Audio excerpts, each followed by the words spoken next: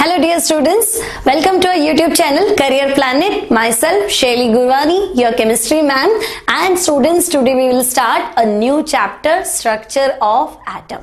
So first of all very sorry बहुत सारे बच्चों ने मुझे मैसेजेस किए हैं व्हाट्सएप पे इंस्टा पे फेसबुक पे पर्सनल कॉल की मैम वीडियोस नहीं आ रहे हैं but I was Covid positive so मैंने आपको uh, थोड़ा सा लेट करवाया वेट करवाया वीडियोस नहीं भेजे but today I am okay so हम स्टार्ट करते हैं हमारा chapter structure of atom and now you will find continuous video every day you will find a new video from continue this chapter. So student, आज हम पढ़ने वाले हैं structure of atom so structure of atom में पहला है atom now what is atom तो हमने एटम का डेफिनेशन पढ़ रखा है.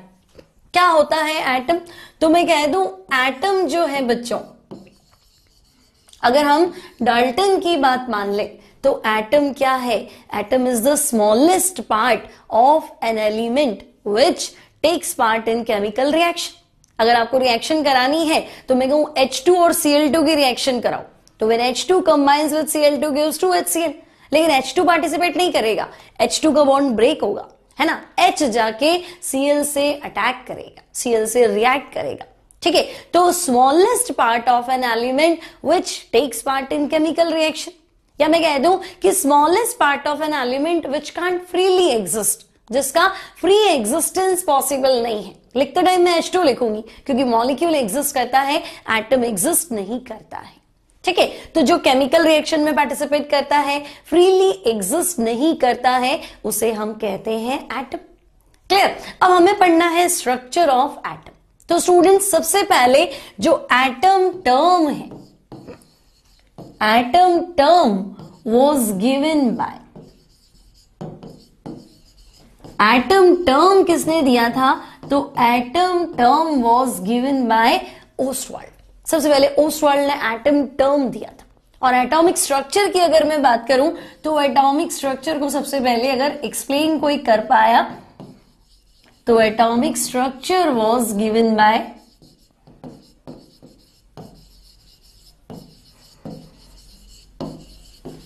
Dalton clear तो थोड़ा बहुत डल्टन ने एटम के बारे में आइडिया ज़रूर दिया था। अब बच्चों बेसिकली जो आपका बेसिक नॉलेज है एटम के बारे में, वो क्या है?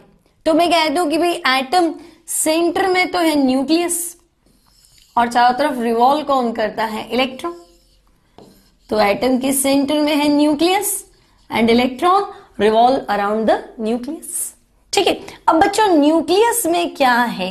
तो हम कह देंगे न्यूक्लियस में न्यूक्लियस में प्रोटॉन है और न्यूक्लियस में न्यूट्रॉन है and electron revolve around the nucleus तो अगर हम बात करें fundamental particles of atom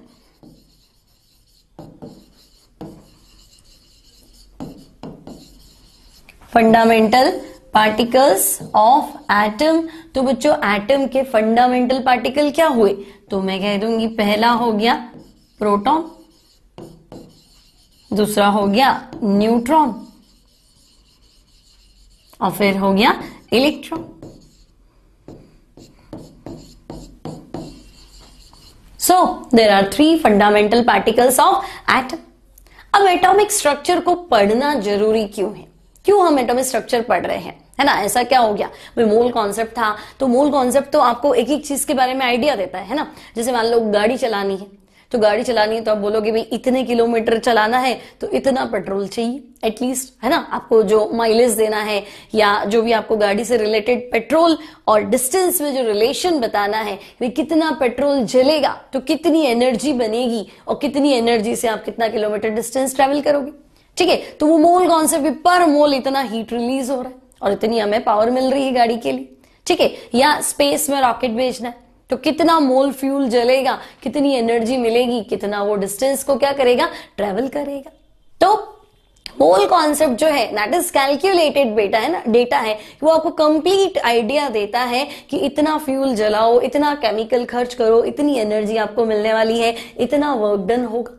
है ना? खाना जो हम खाते हैं इसमें इतनी कैलोरी है, इसमें इतनी कैलोरी है, इसमें इतनी कैलोरी अब वेट पुट ऑन करना है तो कौन सा फ़ूड लेना है? वेट लॉस करना है तो कौन सा फ़ूड लेना है? क्योंकि पर फ़ूड वो भी आपका फ्यूल है। उसको बर्न करने से क्या मिल रही है? एनर्जी और कितनी एनर्जी आपको चाहिए, कितना आप वर्कआउट करते हो, उसके अकॉर्डिंग तो मोल कॉन्सेप्ट तो डेली लाइफ में बहुत यूजफुल है। तो एटॉमिक स्ट्रक्चर पढ़ने की ज़रूरत क्या पड़ गई? तो बच्चों देखो, अगर मैं हर एलिमेंट की बात करूँ नेचर में जितने भी एलिमेंट्स है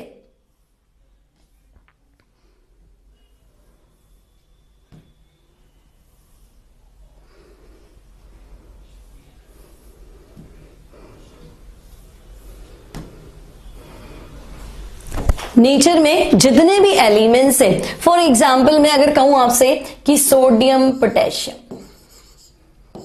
है ना? एक जनरल नॉलेज के लिए मैंने देखा कि भाई सोडियम, पोटेशियम, इनमें क्या खास बात है? ऐसा क्या है सोडियम, पोटेशियम में स्पेसिफिक तो बच्चों, sodium, potassium they are placed in kerosene अगर सोडियम, पोटेशियम की बात करूँ तो इसे तुम हवा में नहीं रख सकते। कहाँ रखना पड़ेगा? कैरोसिन। क्यों रखना पड़ेगा कैरोसिन? तो तुम बताओगे in air they catch fire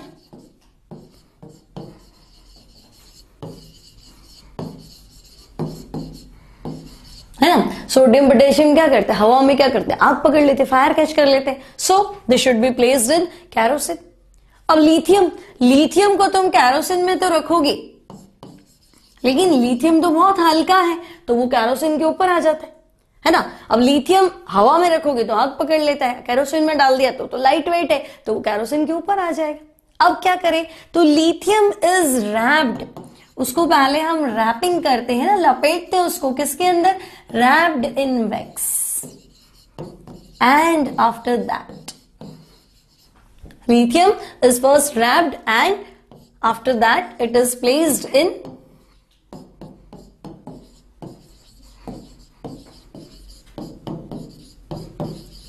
it is placed in kerosene तो इसकी प्रॉपर्टी अलग है सोडियम की प्रॉपर्टी अलग है है ना? लिथियम की प्रॉपर्टी अलग है।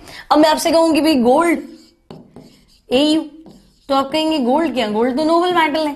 गोल्ड को किसी से रिएक्शन ही नहीं करना, है ना? ये तो क्या है? बिल्कुल नोबल मेटल है।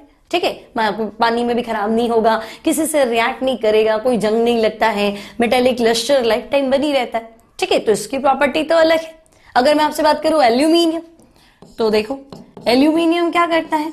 Aluminium forms oxide layer at surface oxide layer at its surface अब इससे क्या होगा? तो एल्यूमिनियम क्या करता है? हवा में अपने चारों तरफ़ ऑक्साइड की लेयर बना लेता है। अब आप इस पे कोई एसिड डाल दो तो ये रिएक्ट नहीं करेगा। है ना? कोई भी केमिकल से ये नॉर्मली रिएक्ट नहीं करता है नॉर्मली ठीक है? तो हम कहेंगे हाँ इसने तो ऑक्साइड की लेयर बना ली लश्चर भी नहीं होता, ज़्यादा चमक भी नहीं होती. अब मैं आयरन की बात करूँ तो देखो आयरन क्या होगा? Iron when comes in contact with moisture when comes in contact with moisture तो क्या होगा बच्चों? तो when iron comes in contact with moisture and air तो क्या हो जाएगा? तो मैं कहूँगी रस्टिंग ऑफ़ आयरन ठीक है आयरन पे क्या हो जाती है? जंग लग जाती है रस्टिंग हो जाती। ठीक है तो इसका प्रॉपर्टी अलग है। अगर मैं बात करूँ यूरेनियम तो बच्चों यूरेनियम क्या है? यूरेनियम रेडियो एक्टिव एलिमेंट है। है ना? एक्सप्लोजिव्स वगैरह बनाने होते हैं तो फिर यूरेनियम बहुत यूजफुल है उसके लिए। तो हम कहेंगे इसका प्रॉपर्टी तो अलग है। तो each and element have their different properties sodium का प्रॉपर्टी अलग है लिथियम का अलग है पोटेशियम का अलग है है ना? कैल्शियम का अलग है मैग्नीशियम का अलग है यूरेनियम का अलग है copper silver gold each and every element have different properties अब डिफरेंट प्रॉपर्टीज़ क्यों है? तो मैं कहूँगी इनमें क्या है? कॉन्फिग्रेशन किसका? इलेक्ट्रॉन का. They have different configuration of electron ठीक है इलेक्ट्रॉनिक कॉन्फ़िगरेशन डिफरेंट होने की वजह से इनकी प्रॉपर्टीज़ क्या हो जाती है? अलग अलग हो जाती। तो इलेक्ट्रॉनिक कॉन्फ़िगरेशन अलग अलग है मतलब मुझे डिटेल में देखना पड़ेगा कि पहले तो इलेक्ट्रॉन कितने हैं। अब इलेक्ट्रॉन कितने मतलब प्रोटॉन कितने क्योंकि न्यूट्रल एटम में जितने प्रोटॉन हैं, उतने इलेक्ट्रॉन है। ठीक है तो प्रोटॉन कितने हैं इलेक्ट्रॉन कितने हैं, फिर उसके अकॉर्डिंग न्यूट्रॉन कितने हैं? ये सारी इंफॉर्मेशन मुझे चाहिए। फिर इलेक्ट्रॉनिक कॉन्फ़िगरेशन मतलब फिलिंग कैसे है? इलेक्ट्रॉन कैसे फिल किया है? जैसे आपने छोटी क्लासेस पढ़ा होगा, वे electron two eight eight eighteen eighteen ऐसे फिल करते हैं। मैजिक नंबर्स जिसे बोलते हैं। ठीक है? तो वो इलेक्ट्रॉन फिल कैसे करने? अब इलेक्ट्रॉन कहाँ होता है? तो वो तो ऑर्बिटल में होता है। ऑर्बिटल कहाँ होता है? सबशेल में होता है। सबशेल कहाँ होता है? तो एनर्जी लेवल ऑर्बिट में होता है। क्लियर तो अभी ऑर्बिट क्या है? फिर इलेक्ट्रॉन रिवॉल्व कैसे करता है? न्यूक्लियस के चारों तरफ़ कैसे रिवॉल्व करता है? और अपनी एक्सेस पे कैसे करता है? ठीक है, फिर अगर एक ही ऑर्बिटल है, उसमें दो इलेक्ट्रॉन फिल कर दिए तो एक तो क्लॉकवाइज हो गया, एक एंटी क्लॉकवाइज हो गया। तो दोनों क्या हो जाते एक दूसरे के अपोजिट स्पिन करते तो मैग्नेटिक फ़ील्ड ज़ीरो हो जाता है। क्लियर तो ये सारी बातें मुझे जाननी पड़ेंगी, क्योंकि एक एक एलिमेंट को मुझे क्या करना है? स्टडी करना है। तो इंडिविजुअल एलिमेंट को स्टडी करने के लिए इंडिविजुअल इलेक्ट्रॉनिक कॉन्फ़िगरेशन पता होना चाहिए। मतलब पूरा का पूरा स्ट्रक्चर मुझे पता होना चाहिए। तो इस चैप्टर के अंदर बच्चों, जो हम डिस्कस करने वाले हैं, वो है सबसे पहले डिस्कवरी ऑफ़ इलेक्ट्रॉन है ना? सबसे पहले क्या डिस्कवर हुआ है? एटम के अंदर इलेक्ट्रॉन की डिस्कवरी हुई. देन प्रोटॉन देन न्यूट्रॉन फिर न्यूक्लियस वगैरह, सब कुछ. ठीक है? तो अलग अलग मॉडल टाइम टू टाइम जो प्रपोज हुए भाई डाल्टन ने क्या स्ट्रक्चर दिया? एटम के बारे में क्या आपको इन्फॉर्मेशन दिया? फिर जे जे थॉमसन का मॉडल था, वो क्या है? है ना? उसके बाद में ब्रदरफोर्ड का मॉडल क्या है? फिर सोमरफील्ड का मॉडल क्या है? देन बोर्ड्स मॉडल क्या है? देन स्पेक्ट्रम क्या है? फिर double nature dual nature of matter ठीक है, उसमें आपको डी ब्रोगली देखना है, फिर शोडिंगर देखना है हिजनबर्ग देखना है है ना? आफ्टर दैट क्वांटम नंबर्स क्या है? तो बहुत सारी चीज़ें हैं इस चैप्टर में पढ़ने के लिए। तो वन बाय वन हम क्या करेंगे? उनको स्टडी करेंगे। क्लियर तो हम स्टार्ट करते हैं डिस्कवरी ऑफ़ इलेक्ट्रॉन यानी कि कैथोड रे एक्सपेरिमेंट तो कैथोड रे एक्सपेरिमेंट क्या है? तो उसको हम देखते हैं। तो बच्चों देखो, ये एक ग्लास ट्यूब आपको दिख रही है है ना? फ़र्स्ट वन जो आपको पिक्चर दिख रहा है दैट इज़ ग्लास ट्यूब तो ये है सीआरटी कैथोड रे ट्यूब यानी अगर हमें स्टडी करना है discovery of electron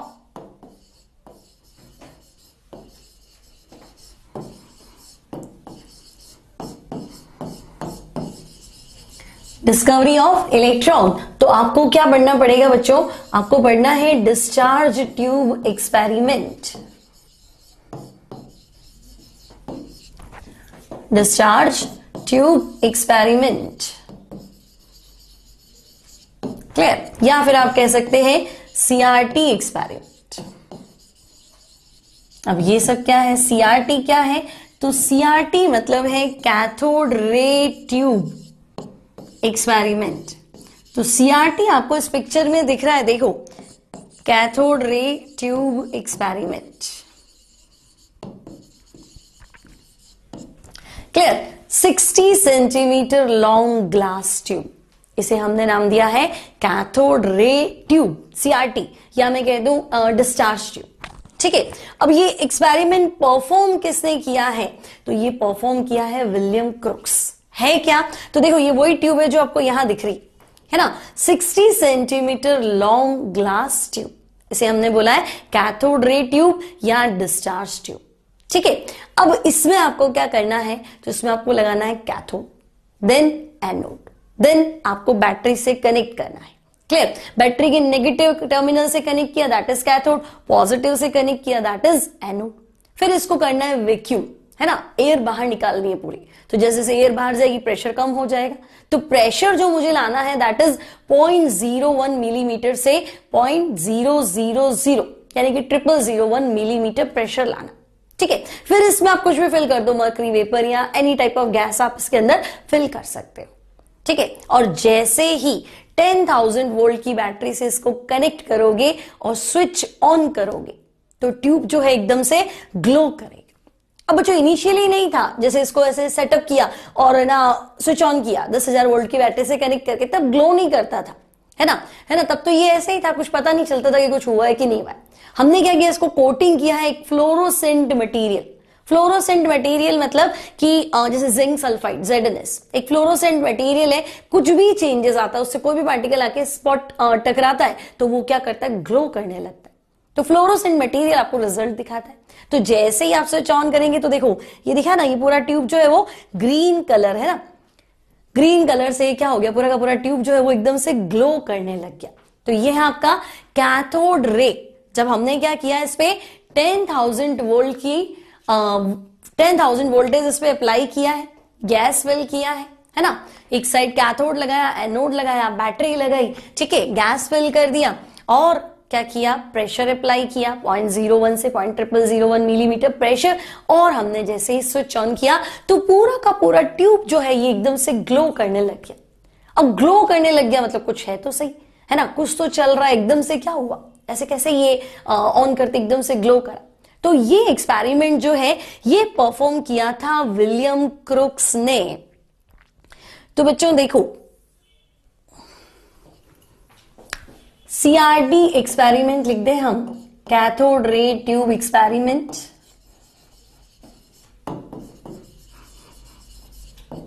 या फिर हम लिखते हैं डिस्चार्ज ट्यूब एक्सपेरिमेंट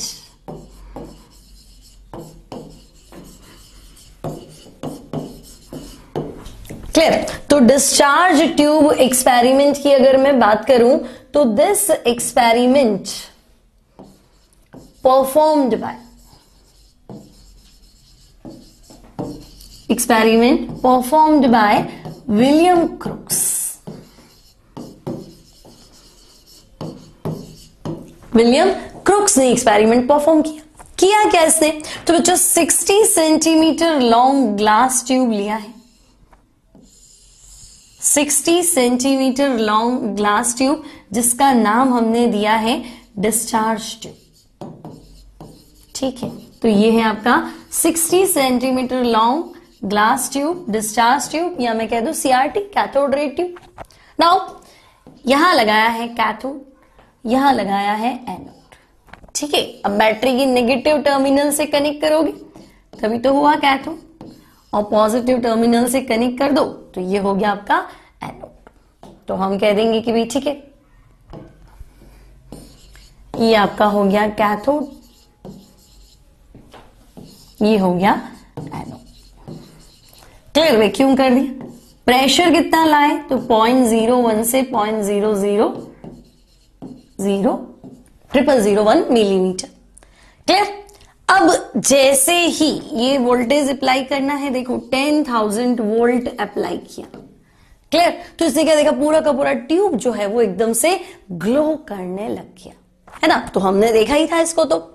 क्या देखा था हमने? सीआरटी एक्सपेरिमेंट देखो। क्या देखा था? ये 60 centimetre long glass tube this is discharge tube या मैं कह दू ये है सीआरटी ठीक है, जो हमने कंडीशन अप्लाई की और इसको ऑन किया तो ये एकदम से ग्लो करने लग ठीक है ग्लो करने लग गया मतलब कुछ आइडिया लगा कि इस ट्यूब के अंदर कुछ ना कुछ मूवमेंट है, कुछ ना कुछ चल रहा है। अब क्या चल रहा है, देखो। तो ये एक बार और देखो। गैस फिल कर दी गैस डिस्चार्ज ट्यूब कैथोड और एनोड कैथोड सॉरी वो कैथोड रे है, ये कैथोड लगा दिया एनोड लग दिया। अब बच्चों, इनका मानना है कि कैथोड से एनोड की तरफ़ कुछ रेज चल रही है।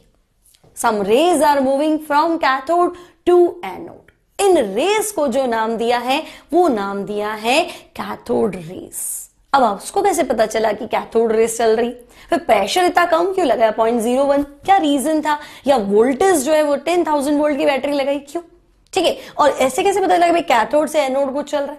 एनोड से कैथोड भी तो चल सकता है, उल्टा भी हो सकता है। तो इन सारे सवालों के जवाब जो है, वो हमें देने हैं, इनको हमें स्टडी करना है वन बाय वन ठीक है तो एक्सपेरिमेंट आपका क्लियर है, देखो। सीआरटी क्या होता है, वो क्लियर है। कैथोड लगा दिया एनोड लगा दिया, है ना? वोल्टेज अप्लाई कर दिया प्रेशर अप्लाई कर दिया, और एकदम से ग्लो हुआ। मतलब इसके अंदर कुछ मूवमेंट है, कुछ कुछ तो होना चाहिए, कोई रेस तो होनी चाहिए। अब ये मानना है कि कैथोड से एनोड की तरफ़ कुछ रेस चल रही है, उन्हें हमने नाम दिया है कैथोड रे अब ये ऐसा क्यों? तो देखो सीआरटी हमारा क्लियर है। लो प्रेशर पे कोई भी गैस फिल कर दो एयर रख दो, कोई फ़र्क नहीं पड़ेगा। क्लियर अब हाई वोल्टेज पे हमने क्या किया है? ये सारा एक्सपेरिमेंट परफॉर्म किया है। परफॉर्म किसने किया था? तो हम कह देंगे विलियम क्रुक्स का एक्सपेरिमेंट है। अब बच्चों, सबसे पहला जो सवाल आता है कि टेन थाउज़ेंड वोल्ट ही क्यों लगा? हुआ क्या? ठीक है? और प्रेशर जो है वो लो है। है ना? और आपको क्या पता कि भाई यहाँ से यहीं कुछ मूवमेंट है? तो हुआ क्या? यहाँ पे ये जो एनोड है ना by making a hole at the side of anode यहाँ एक होल कर क्लियर सबसे पहले पूरा फ्लोरोसेंट नहीं, सबसे पहले यहाँ एक होल कर दिया। अब यहाँ होल करके बच्चों, यहाँ लगाया है फ्लोरोसेंट मटेरियल ठीक है? और वो जो फ्लोरोसेंट मटेरियल है that is Z N S zinc sulphide clear अब यहाँ होल करके पीछे फ्लोरोसेंट मटेरियल लगाया। इस फ्लोरोसेंट मटेरियल पे क्या दिख रहा है? तो इस पे कुछ स्पॉट्स दिख रहे है। ना? यहाँ कुछ स्पॉट्स दिख रहे तो यहाँ स्पॉट्स दिख रहे हैं मतलब कि जो भी चीज़ आई है वो यहाँ कैथोड से आई, बाकी तो पूरी कांच की ट्यूब है, उसमें तो कुछ है नहीं। है ना? तो जो भी चीज़ आई है, जो भी रेज आई है वो यहाँ से आई। और यहाँ से आते आते वो इस होल में से निकल के फ्लोरोसेंट मटेरियल जो है जेड एन एस उस पर टकराई। फ्लोरोसेंट का मतलब समझ गए ना कि उसमें जाके कुछ भी स्ट्राइक करेगा तो फ्लैश देगा स्पॉट देगा और हम उसको पकड़ लेंगे कि हाँ भी कुछ तो आया है। क्लियर तो जेड एन एस क्या है? जेड एन एस का हमने स्क्रीन यूज़ किया है। और है क्या? तो ये है फ्लोरोसेंट मटेरियल ठीक है?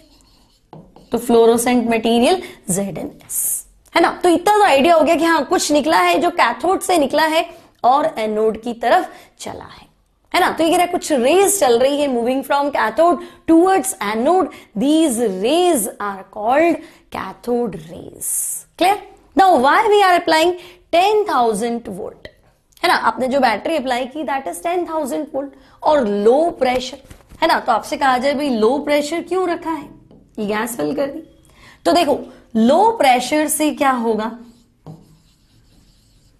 Low pressure is the condition to ionise gas molecules अगर मैं चाहती हूँ कि गैस मॉलिक्यूल्स को क्या करना है? आयंस में कन्वर्ट करना है तो प्रेशर शुड बी लो अब क्यों?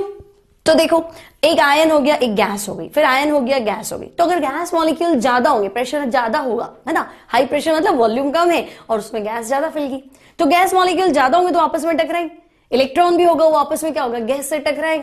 तो जब आपस में टकराएँगे तो जो मुझे पाथ देखना है, जो मुझे स्टडी करना है, भाई सीधा चल रहा है या जिगजैग चल रहा है, चल कैसे रहा है? तो तुम सोचोगे, अगर कम लोग होंगे तो मैं उनकी पाथ को स्टडी कर सकती हूँ। अब लोग ज़्यादा होंगे गैस मॉलिक्यूल्स ज़्यादा है तो आपस में टकरे होंगी। तो टकरे होंगी तो एग्जैक्ट पाथ जो हम आ, बताना चाहते हैं हम जो देखना चाहते हैं वो हम नहीं देख पाएँगे। है ना? लीनियर पाथ मुझे मिलेगा ही नहीं। जिगजैग करता हुआ पाथ मिलेगा। दैट्स वाई लो प्रेशर हमने अप्लाई किया। अब हाई वोल्टेज का क्या रीजन है? तो बच्चों देखो हुआ क्या? हमने इसमें क्या कर दिया था? एक गैस फिल कर दिया था। कोई भी प्रॉपर जो गैस है वो फिल कर दिया। अब मान लो हाइड्रोजन है। तो हाइड्रोजन में है क्या? तो भाई हाइड्रोजन में न्यूक्लियस है और एक इलेक्ट्रॉन है। अब जब तुम 10,000 वोल्ट का बैटरी अप्लाई करते हो है ना? 10,000 वोल्टेज जो है जब तुम यहाँ अप्लाई करोगी तो भाई ये इलेक्ट्रॉन तो न्यूक्लियस से बना हुआ है ना। तो होगा क्या? इतना वोल्टेज तो कम से कम चाहिए कि ये इलेक्ट्रॉन बाहर निकले। तो ये इलेक्ट्रॉन मतलब नेगेटिव पार्टिकल और बाकी गैस क्या है? आपका कैटायन पार्टिकल है गैस जो है वो प्लस है। है ना? अब हुआ क्या? तो स्टडी तो सिर्फ़ इसको ही किया, इसको तो दिमाग में नहीं आएगा ये भी कोई चीज़ है। ठीक है? तो दस हज़ार वोल्ट अप्लाई करने पे एक्चुअली क्या होता है? गैस आयोनाइज हो जाती है। है ना? और ये इलेक्ट्रॉन आपके निकल जाते हैं गैस से। क्लियर अब ये इलेक्ट्रॉन जो आपके निकले हैं गैस से तो देखो, ये इलेक्ट्रॉन कहा चलेंगे? पॉजिटिव प्लेट की तरफ़। ये नेगेटिव प्लेट है। है ना? प्लस से कनेक्ट किया तो ये प्लस है। तो ये सारे इलेक्ट्रॉन जो है बच्चों ये सारे नेगेटिव पार्टिकल जा रहे हैं कहा? तो हम देख रहे हैं ये जा रहे हैं पॉजिटिव प्लेट की तरफ़। ठीक है, अब इसको कैसे पता? तो मैंने आपको बता दिया, यहाँ इसने क्या कर दिया? यहाँ इसने बना दिया एक होल ठीक है, यहाँ होल बनाया तो ये पार्टिकल आगे चला गया। यहाँ स्क्रीन लगा हुआ है किसका? जेड एन एस का। ठीक है, ये जाके स्क्रीन पे डग रहा है स्क्रीन पे फ्लैश आया। मतलब भाई, कुछ चल रहा है जो कैथोड से एनोड की तरफ़ चल रहा है। क्लियर तो अब हमारा ये कंसेप्ट क्लियर है कि भाई ऑन अप्लाइंग कितना वोल्टेज अप्लाई किया तो हम कह देंगे on applying ten thousand volt and at pressure क्या था? पॉइंट ज़ीरो वन से point triple zero one point zero one से पॉइंट हाँ triple zero one millimetre pressure लगभग इतना होता है ten to the power minus four के आसपास. ठीक है, इस प्रेशर पे, इस वोल्टेज पे discharge tube CRT start to glow CRT क्या हो जाती है? ग्लो करने लग जाती है. और कुछ रेज चल रही है। And some rays some rays are moving from cathode to anode. कुछ रेज चल रही है कैथोड से एनोड की तरफ़। दीज रेज क्योंकि चल कहाँ से रही है? कैथोड से चल रही है। एनोड की तरफ़ चल रही है तो these rays were named as cathode rays in rays को जो नाम दिया that is cathode rays clear बच्चों? तो इन रेस का नाम आ गया कैथोड रेस ये प्रेशर रीजन समझ में आ गया कि मुझे इतना प्रेशर चाहिए गैस को आयोनाइज करने के लिए और सॉरी इतना वोल्टेज चाहिए गैस को आयोनाइज करने के लिए और इतना प्रेशर चाहिए, है ना? ज़्यादा प्रेशर रखेंगे तो गैस मॉलिक्यूल आपस में कोलाइड करने लग जाएँगे तो हम पाथ ऑफ़ कैथोड रेस को नहीं देख सकते। क्लियर तो ये है हमारा cathode ray experiment CRT experiment performed by William Crookes clear अब इससे इलेक्ट्रॉन की डिस्कवरी कैसे हुई? कैरेक्टर्स क्या है? ये अब हम डिस्कस करेंगे।